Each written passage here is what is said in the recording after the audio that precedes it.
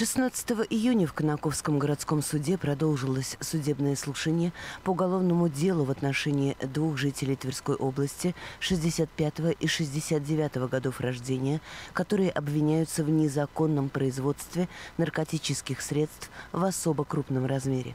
Деятельность нарколаборатории пресекли сотрудники регионального управления ФСБ при поддержке Росгвардии. В нарколаборатории изготавливались синтетические наркотики для сбыта на территории нашего региона и в Подмосковье.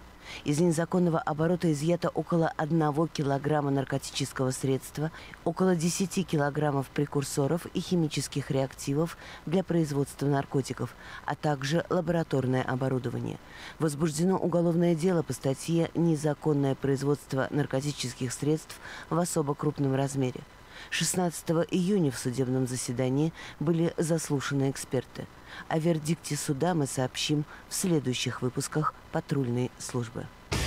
Судебные приставы совместно с сотрудниками линейного отдела МВД России на станции Тверь продолжают оказывать информационную поддержку населению и проверяют граждан на наличие долга.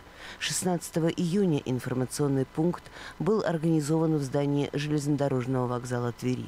Тверитяне и гости областной столицы смогли получить консультацию судебных приставов и памятки о всех официальных способах проверки на наличие отсутствия задолженности. Также полицейские и судебные приставы выявляли неплательщиков административных штрафов за правонарушение на транспорте. Акция длилась более двух часов.